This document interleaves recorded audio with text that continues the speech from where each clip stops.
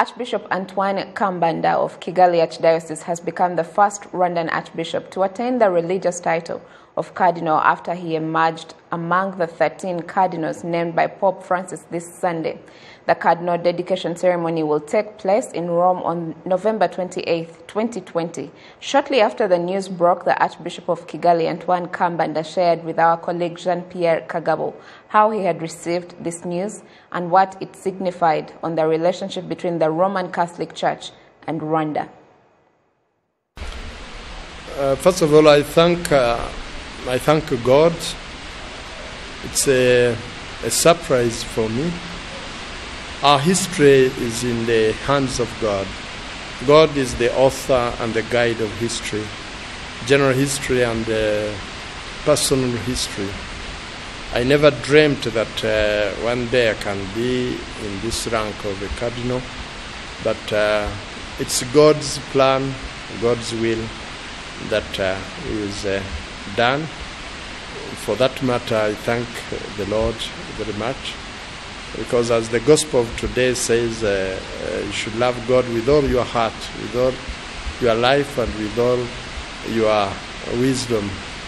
Uh, I love the Lord and I have consecrated my life to work for God, and uh, I would like to thank the whole His Holiness Pope Francis, who has uh, thought of me and uh, has uh, had confidence in me, and uh, this gives me a chance to work uh, more for God and for the church that also I love, the institution that God established to evangelize and to keep on the, the good news for salvation. And so it's a great joy and surprise for me. Uh, and uh, I will give my contribution as the Lord wants. It's a good coincidence. It has been now 30 years after your ordination as priest, uh, and your first ever cardinal here we have in, in, Rwanda. What does it mean to the church? Uh, it means a lot for the church in Rwanda because it's the first time in the history of Rwanda to have uh, a cardinal. Uh, up to now, we had the archbishops. The, for uh, the cardinal is the first time, and um, in the region, we only had the cardinal of Kinshasa, and uh, the neighboring countries in Uganda, uh, the cardinal is emeritus. In uh, Dar es Salaam, the cardinal is emeritus. Uh, there is a cardinal of uh, Nairobi.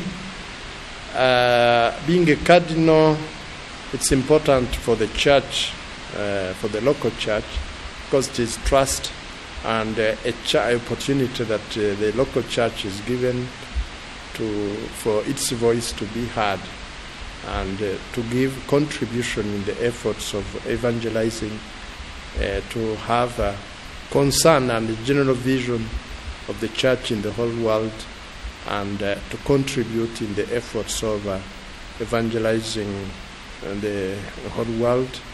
And um, that means also the cardinal is among the advisors of uh, the Pope. He's given a church in Rome as part of uh, the councillors of uh, the Bishop of Rome, who is the, the Pope. the cardinal is among those who can elect uh, the Pope when the Pope dies or when the Pope uh, uh, retires, as it happened for Pope Benedict the Sixteenth. So all in all, it means a lot for the church in the country and also for the country and for the region. Some may think that uh, this is a good sign of good relation between Rwanda and the Roman Catholic Church. What is your take on that? Yeah, it's also part of it because uh, a country which is organized, which has security, and uh, facilitates the work of evangelization and the work of the church, and in good relations with, with the church and with the Pope with the Vatican. This is also part of, of it. But uh, there is another part which is the spiritual part and the pastoral part.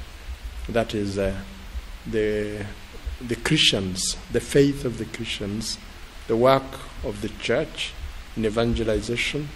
And I think it is a, a recognition and appreciation of the pastoral work that we do. Rwanda has suffered a lot uh, uh, in this journey of reconciliation and rebuilding itself. The church also rebuilding itself. We are very grateful to the Holy Father who uh, recognizes the efforts that we do together, hand in hand also with the state. Thank you so much and good luck to you. Yeah, thank you very much.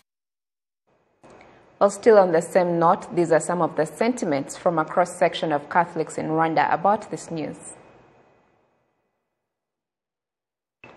We received this news with great pleasure as Rwandans and as the Catholic Church in Rwanda because this is the first time in our country to receive a cardinal. This is of great significance to the faith of many Christians in Rwanda and it's going to encourage us more to walk in faith and spread the gospel. turushaho no gukurikiza inzira y'ubutungane n'inzira y'iyogezabutumwa twishimye cyane twavugije impundu iki ni ikitwereka We're extremely happy. This has shown us that indeed God and Mother Mary have Rwanda at heart. So we should be strong in faith because God is with us. He knows us and He loves us very much.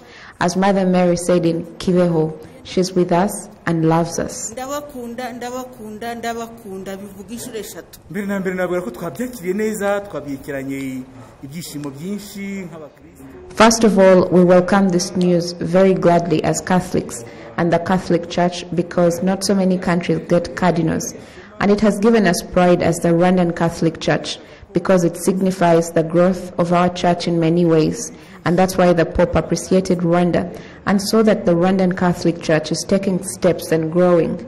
As you know, it's the cardinals that appoint the Pope, and it's from them that a Pope is appointed as well. So it's an incredible thing that we are proud of.